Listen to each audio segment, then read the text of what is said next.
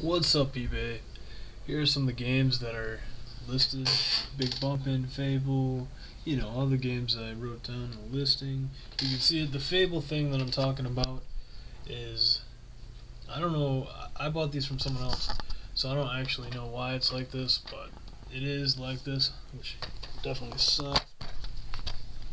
The Fable, the actual manual is in really good shape. The disc is in good shape, so it's an awesome game, so I think it's worth it. You know, you're not gonna. Who's showing off their Xbox games anymore, anyways? So I would definitely take a chance with this one. I would show you the Xbox right now, but it's in storage right now.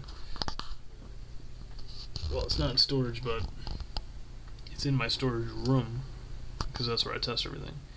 Anyways, thanks for viewing my listing, and if you bid, thanks for bidding.